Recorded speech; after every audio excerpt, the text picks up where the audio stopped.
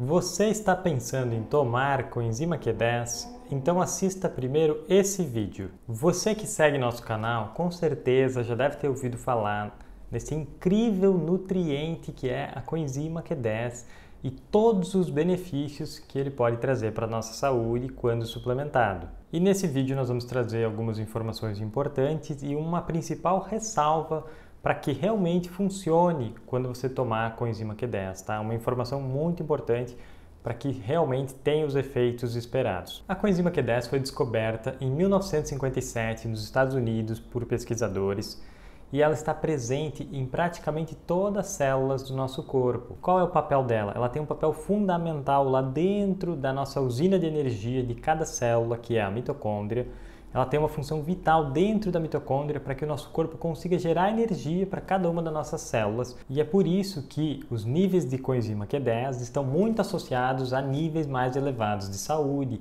E níveis baixos de coenzima Q10 estão mais associados a baixa saúde, doenças, envelhecimento, menor desempenho do seu corpo. Em outras palavras, elevados níveis de saúde e vitalidade demandam bons níveis de coenzima Q10 e como todos vocês já sabem também, os níveis caem muito com a idade, tá? E também com alguns hábitos de vida que a gente pode ter que impactam muito a coenzima Q10. Atualmente, a coenzima Q10 ela também é muito conhecida por seus benefícios cardíacos. Inclusive, ela faz parte de alguns protocolos específicos para problemas cardíacos, tá? Ou para aumentar a saúde cardíaca, trazendo resultados extraordinários. Lembrando também que muitos estudos indicam que a mitocôndria, né, as mitocôndrias é que comandam a célula e, portanto, a saúde de todo o corpo.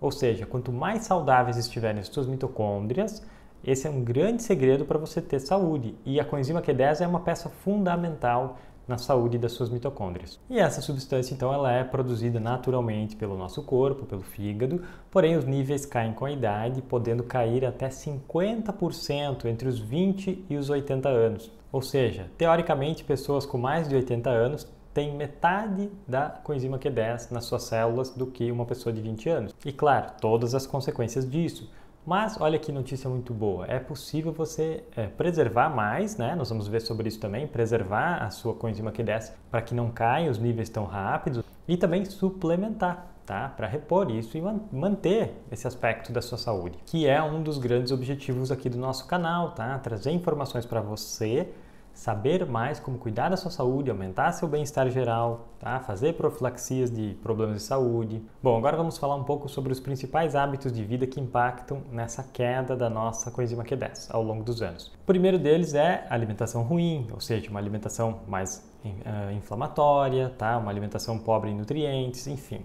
Uma alimentação impacta demais nessa queda da coenzima Q10. Também a gente pode colocar nessa conta os níveis elevados de estresse, que hoje em dia são muito comuns, o excesso de toxinas, então, são toxinas no ar, na água, nos alimentos, nos produtos que você usa, na água encanada, né, no banho, na água de beber, tá? São toxinas do plástico, são metais tóxicos, são agrotóxicos, é muita toxina que tem chego atualmente ao nosso corpo, isso gera um impacto, uma sobrecarga na saúde, inclusive afetando propriamente o fígado, né, que é o responsável por fabricar a coenzima Q10. E também existe um fator que é muito presente atualmente, que é as estatinas, tá? Tomar estatinas, que são os remédios que baixam o colesterol, acabam também inibindo a produção da coenzima Q10. Então, pessoas que usam estatinas, seria muito importante que elas usassem também a coenzima Q10. Em resumo, com a queda da coenzima Q10, você fica muito mais suscetível a doenças crônicas, AVC, infarto, Alzheimer, Parkinson, enfim, doenças do envelhecimento, doenças crônicas em geral. Portanto, ela é muito necessária. E a boa notícia é que atualmente existem suplementos incríveis, suplementos muito bons realmente de coenzima Q10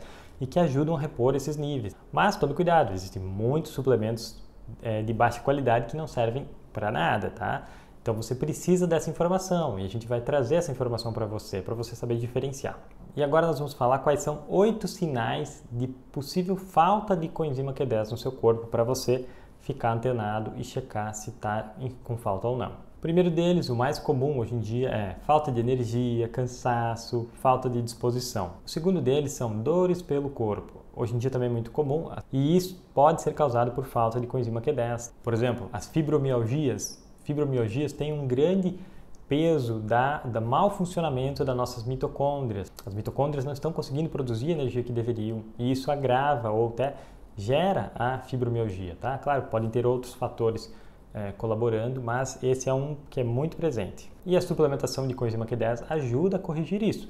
Claro, dentre outros nutrientes que também podem ser utilizados. O terceiro sinal é a falta de memória, porque lembrando, o nosso cérebro ele precisa de muita energia, então ele depende da coenzima Q10 e das mitocôndrias funcionando muito bem. Número 4, falta de força muscular. Tá? Os músculos também demandam muita energia e, portanto, dependem de bons níveis de coenzima Q10. Número 5, problemas cardíacos. Tá? Esse é um sintoma clássico de falta de coenzima Q10. A coenzima Q10 é um dos principais nutrientes para ajudar nos problemas cardíacos. Infertilidade também. Número 7, a própria baixa vitalidade, que pode se manifestar de várias formas no seu corpo, porque com baixos níveis de coenzima Q10, todas as nossas células funcionam menos, trabalham menos, produzem menos, tá? São menos eficientes no que elas deveriam estar fazendo, se tornam disfuncionais, inclusive. E número 8, ter problemas no fígado, tá? Pode ser um indicativo de falta de coenzima Q10. Agora nós vamos falar as principais ressalvas para você suplementar a coenzima Q10, que é o principal objetivo aqui desse vídeo,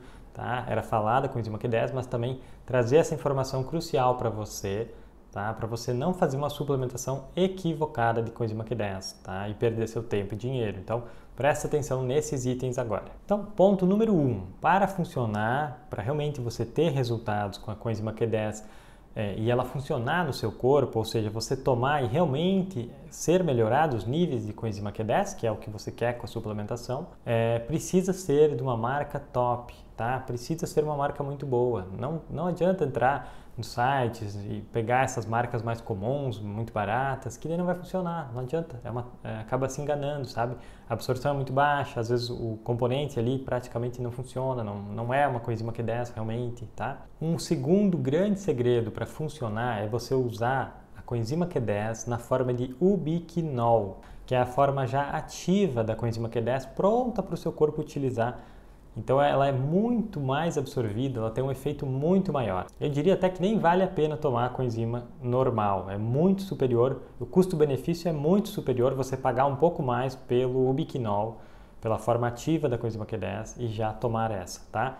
Vai, ter, vai ser um custo-benefício muito superior. E a coenzima Q10 que nós utilizamos e recomendamos é a que está na nossa lista. A lista está aqui embaixo no link, aqui embaixo nos comentários, ok? As pessoas sempre perguntam, né? Onde eu consigo? Qual, qual coenzima que você confia? Qual que você recomenda? Qual que você está falando? Então nós criamos essa lista. Lá tem todos os suplementos e produtos que a gente recomenda no canal. Se você vai tomar, toma uma que realmente vai trazer é, que, que, tem qualidade, senão é melhor não tomar. Mais uma observação: o ideal é que você tome sempre no almoço ou junto com o seu ômega 3, porque quando tiver mais gordura ela absorve melhor. E a dose padrão é de 100 mg por dia, tá?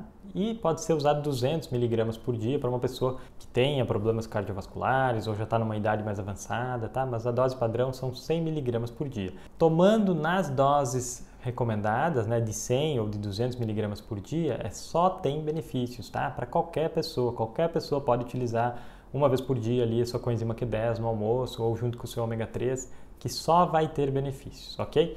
Mas é claro que se você não cuida da sua saúde, tem uma alimentação ruim, está estressado, dorme mal, é, sabe? E aí você vai querer pegar e tomar a coenzima Q10 para achar que vai fazer, vai resolver toda a sua saúde. Você sabe, já acompanha nosso canal, sabe que não funciona assim. O ideal é que você corrija a sua alimentação, melhore a alimentação, garanta que tem um sono reparador, faça exercício físico, garanta que você tem bons nutrientes também dos outros nutrientes. E aí, junto com tudo isso, você tomar uma coenzima Q10, isso vai trazer muito benefício para você, vai ajudar na sua saúde. E lembrando que após os 40 anos, as pessoas tendem a perceber muito mais benefícios com a coenzima Q10, é claro, né? Porque os níveis já caíram significativamente, então quando ela toma, ela sente esse contraste.